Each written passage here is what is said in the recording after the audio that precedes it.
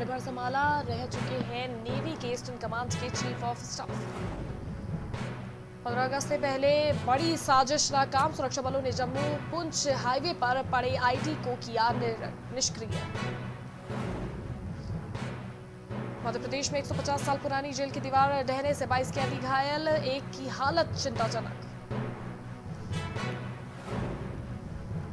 प्रतापगढ़ में चौकी इंचार्ज पर लिया गया एक्शन। चोरों से सात घाट करना पड़ा। भारी चौकी इंचार्ज को किया गया निलंबित। फतेहपुर में पॉलिटेक्निक के छात्रों ने किया कमाल। छात्रों ने जैविक पेंट किया तैयार। छात्रों के इस काम से लोग हुए खुश।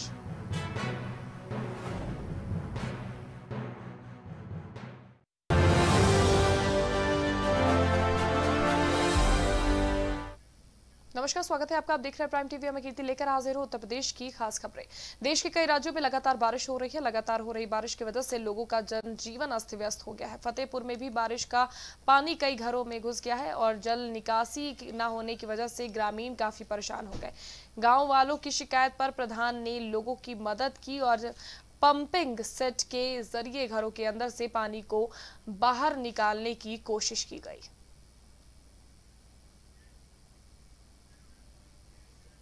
लखनऊ में पुलिस के मृतक आश्रितों की ने नियुक्ति की मांग को लेकर बीजेपी कार्यालय और विधानसभा में प्रदर्शन किया। आश्रितों ने सरकार के खिलाफ जमकर नारेबाजी की।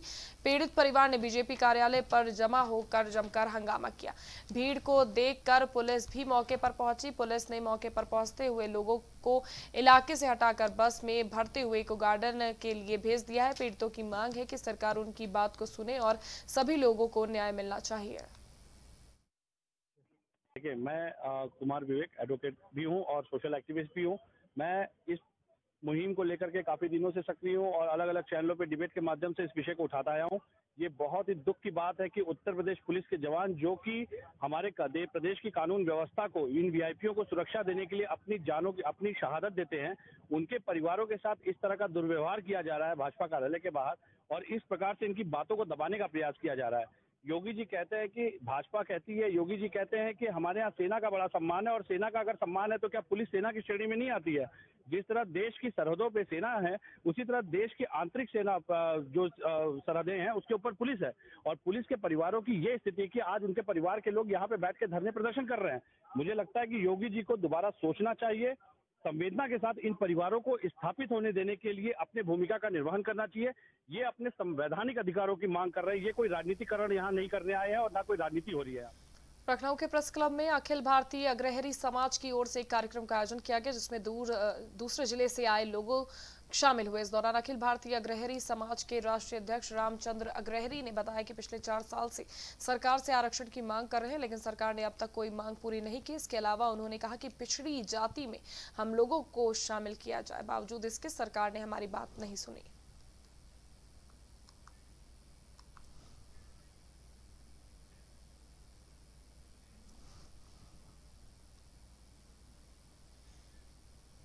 मुरादाबाद में रेल मंडल की महिला रेलवे अधिकारी रेखा शर्मा की सराहनीय पहल सामने आई है। सभी छोटे बड़े 200 रेलवे स्टेशनों के आसपास रहने वाले उन दिव्यांग लोगों को फ़ायदा मिलेगा जो रेल से यात्रा करने के लिए आ, मिलने वाले कंसेशन सर्टिफिकेट को बनवाने के लिए बार बार कई सौ किलोमीटर की यात्रा कर यहाँ पर आते हैं। रेल कंसेशन सर्टिफिकेट बनने में तीन से चार महीने का समय लगता था। सीनियर डीसीएम रेखा शर्मा के इस आईडीए से अब बिना किसी परेशानी के दिव्यांग व्यक्ति अपने घर में बैठे बैठे वेबसाइट के ज़रिए आवेदन कर तीन से चार दिवस में अपना रेल यात्रा कंसेशन सर्टिफिकेट प्राप्त कर सकता है।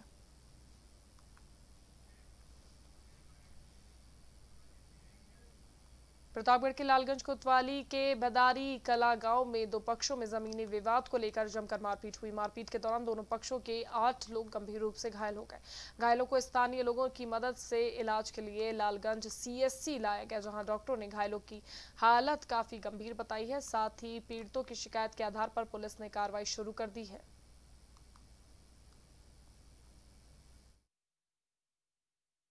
हमारे परिवार में एक बहुत पुराने परदादा थे।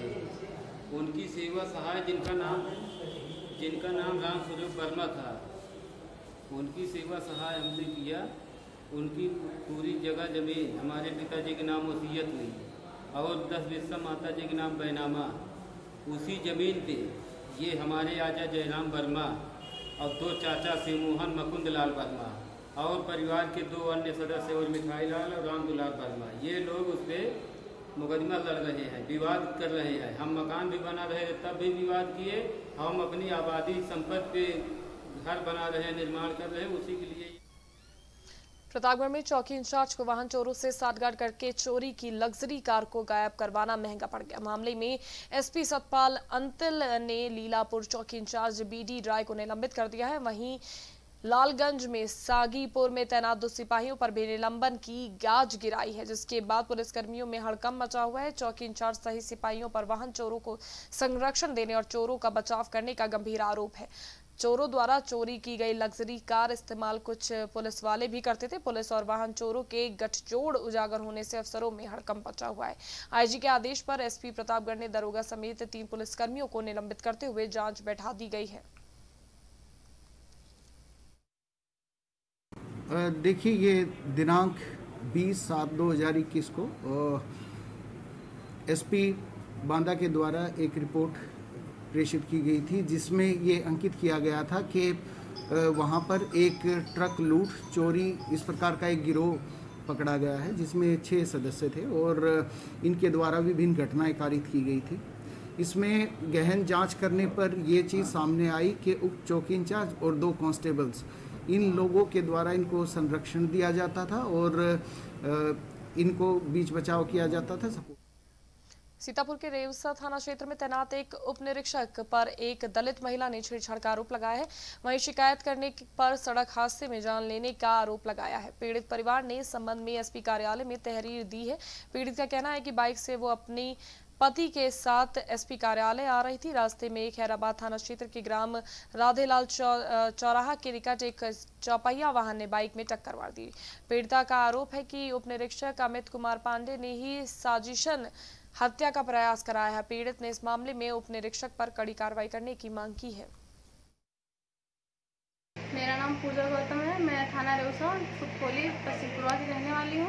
मेरे घर पे 24 तारीख को अमित पांडे साढ़े पाँच बजे के आसपास आए हुए थे।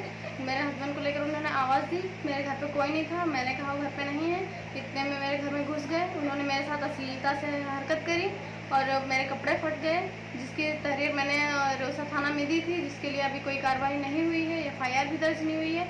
और इस बात को मतलब मैं सीतापुर आ रही थी उस इसी बात के लिए सर के पास बात रखने के लिए तो रास्ते में मेरी डिज़ायर गाड़ी से टक्कर मार के मेरी हत्या करने का प्रयास किया गया, और उसके लिए भी आज तक कोई, अभी तक कोई मुकदमा दर्ज नहीं हुआ है, और ये घटना कल सत्ताईस तारीख सोनभद्र के DAV public school NTPC Rihand Nagar के छात्र छात्राओं ने ज़िले का नाम रोशन किया है। छात्र छात्राओं ने सीबीएसई बारहवीं बोर्ड में बच्चों ने 60 परसेंट से अधिक अंक हासिल कर लिए हैं।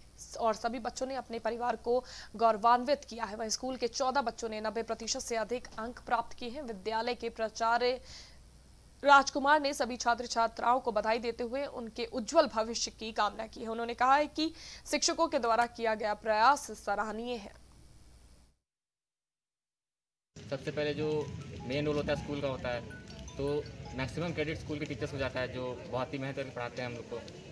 फिर उसके बाद मैं जो सर क्लास में पढ़ाते थे, उसको रेगुलरली घर पे रोज़ पढ़ता था और बस इसी तरह रिवीजन भी करते रहता था, बस यही चीज़। है दिन प्रतिदिन जो हमारा रिज़ल्ट है, बच्चों का क्यू है, या एवरेज इम्प्रूव हुआ है, ये सामूहिक प्रयास है, जिसमें हमारे अध्यापक हमारे गार्जियन और हमारी एन मैनेजमेंट क्योंकि हम एक ऐसा वातावरण बच्चों को दे रहे हैं जिसमें वो एक आगे दिन प्रतिदिन प्रोत्साहित होकर के सोनभद्र के रेणुकोट निवासी एक व्यक्ति को ठगी का शिकार होना पड़ा है। जानकारी के मुताबिक खाते का केवाईसी अपडेट करने के नाम पर पहले पीड़ित को अज्ञात कॉलरों द्वारा उसे फ़ोन किया गया। उसके बाद मोबाइल फ़ोन पर ओटीपी भेजकर उसके खाते से एक लाख पाँच हज़ार रुपए उड़ा दिए गए। जब पीड़ित ने पूरे मामले की जानकारी पुलिस को दी तो पुलिस ने मामले की जाँच में जुट गई है। पुलिस अधीक्षक अमरेंद्र प्रसाद सिंह ने बताया कि पीड़ित की शिकायत के बाद पुलिस ने एक्टिव होते हुए खाते से पैसे उड़ा लिए। लगभग अस्सी हज़ार रुपए तत्काल वापस करा दिए गए अब पूरे मामले की जाँच की जा रही है। आगरा के थाना बरहान पुलिस को बड़ी सफलता हाथ लगी है। पुलिस ने शातिर लुटेरे गैंग का खुलासा कर दिया है। शातिर गैंग के लोगों ने कई राज्यों में वारदातों को अंजाम दिया है। पकड़े गए आरोपियों के पास से कई मोबाइल और लैपटॉप बरामद हुए हैं। गैंग के दो लोगों को गिरफ़्तार करते हुए पुलिस ने कड़ी कार्रवाई की है। पुलिस का कहना है कि आगे भी शातिर लुटेरों पर कार्रवाई जारी रहेगी।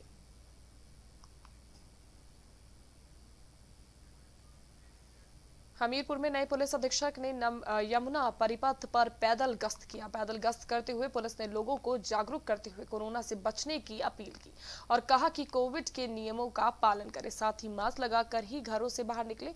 साथ ही इलाके में कोई भी घटना होने की संभावना पर तत्काल पुलिस को सूचित करने को कहा गया है।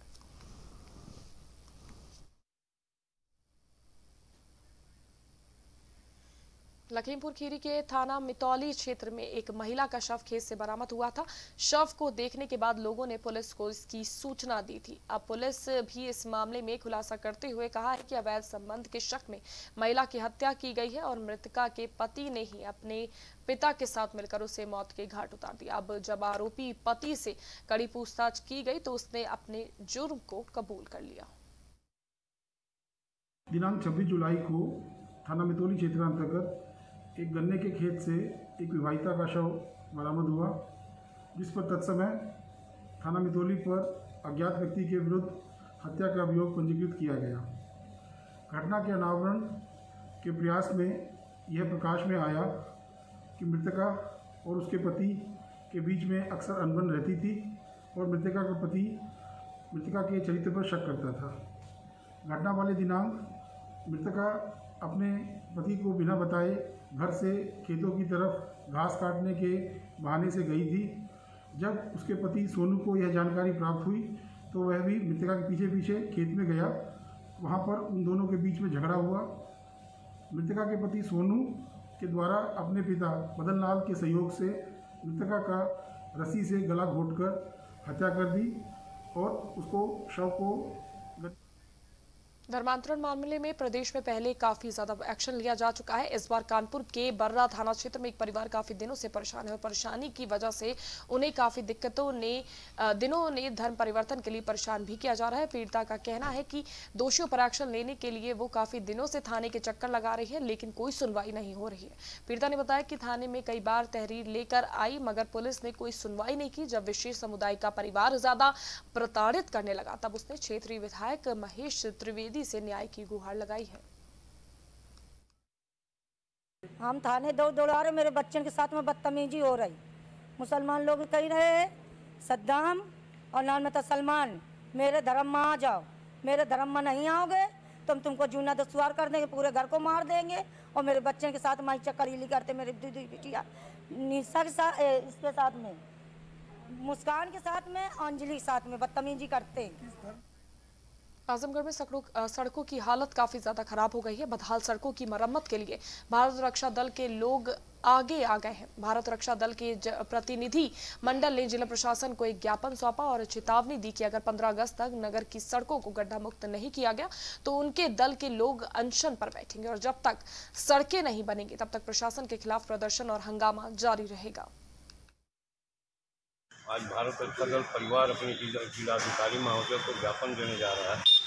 आप विगत कई वर्षों से देख रहे होंगे, चाहे पी डब्ल्यू डी हो, की सड़क हो, चाहे नगर पालिका की हो, चलना दुर्लभ हो गया है। और ये बार बार मांग उठाते उठाते भारत रक्षा दल परिवार परेशान हो गया है।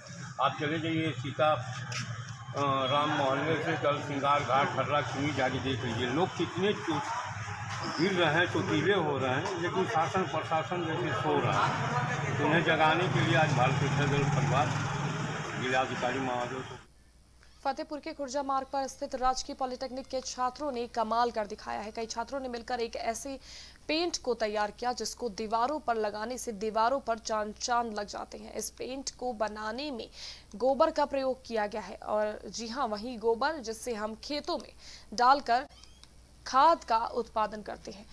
गरीबी रेखा से नीचे जीने वाले मजदूरों के लिए गोबर से उपले तैयार किए जाते हैं, पर पॉलिटेक्निक के छात्रों ने उसी गोबर से एक ऐसा जैविक पेंट तैयार किया है, जिसकी कीमत बाज़ार में बिकने वाले रजिस्टर्ड पेंटों से कम है। लोगों ने बताया कि इस पेंट में कई प्रकार की खूबियाँ हैं एंटी फंगल पेंट भी इसे कहा जा सकता है। मुझे यहाँ पर लगभग दो साल और आठ दिन हुए हैं आ, इन दो साल आठ दिन में आ, मैंने अपनी पूरी कोशिश करी है कि यहाँ के विकास में यहाँ के छात्रों में एक नई नई डेवलपमेंट स्कीम्स लाएँ एक नया जोश उत्पन्न करें जिससे कि कम से कम छा हमारा उद्देश्य यहाँ पर ये है कि छात्र रोज़गार न लेकर के दूसरों को रोज़गार दे। इसके प्रति मैंने प्रेरित किया है कि तुम लोग एक छोटे छोटे मॉडल तैयार करके जिनका कि उपयोग आप स्मॉल स्केल इंडस्ट्री के रूप में कर सकें और उन लोगों को रोज़गार दे सकें। ये कि उन बच्चों ने इस अच्छे से प्रोजेक्ट को कैसे बनाया है, उनको कितनी इसकी लागत आ रही है, और इसके क्या क्या उपयोग हैं, और उपयोग होने के साथ में इसकी मार्केट जो मार्केट में अदर पेंट्स बिक रहे हैं, चाहे नेरो लेक हो या एशियन पेंट्स हो, उनकी अपेक्षा इसमें कितनी कास्ट वैल्यू आती है, यह हम ज़रूर बात करेंगे। तो पहले तो आप अपना नाम बताएँ। सर, मेरा नाम अखिल कुमार है। अखिल कुमार जी ये बताएँ कि आप यहाँ राजकीय पॉलिटेक्निक के स्टूडेंट हैं और यहाँ पर जो है आज नया प्रोजेक्ट वो बनाया है आपने। तो उसके लिए आपको कितनी मेहनत करनी पड़ी और इसके पीछे किसको श्रेय देना चाहेंगे? सर इसका श्रेय हम अपने सर ये चोटी सर हैं जो उन्हें देना चाहेंगे। उन्हीं की उन्हीं उन्हीं के रास्ते से हम लोगों ने ये पेंट बनाया है। सर देख के उन्हीं ने बताया जो उसी प्रोसेस से हम लोगों ने ये कंप्लीट किया प्रोजेक्ट सर रविंद्र सर एच हैं मेरे। उन्होंने ये बताया तो उसी के अकॉर्डिंग हम लोगों ने बनाई पेंट इस पेंट की खासियत क्या है? आप अपना नाम बताते हुए ये बताएँ कि इस पेंट की खासियत क्या है। मेरा नाम वैष्णवी गुप्ता है और इस पेंट में बहुत अच्छी क्वालिटी है। सबसे पहले ये किसानों के लिए बहुत लाभदायक है क्योंकि उनका गोबर अगर बिकेगा तो उन्हें उससे फ़ायदा होगा। और ये एंटीबायोटिकल है एंटी फंगल है और ये अन्य पेंट की अपेक्षा काफ़ी सस्ता है जीवाणु रोधक है और इसमें बहुत अच्छी क्वालिटीज़ है। ये आगरा में अज्ञात चोरों ने दो दुकानों को अपना निशाना बनाकर हज़ारों का सामान पार कर दिया। बताया जा रहा है कि दुकान मालिकों का कहना है कि दुकान में रखी बैटरियों समेत नकदी गायब है। पुलिस ने तहरीर के आधार पर मुकदमा दर्ज कर लिया और जाँच शुरू कर दी है।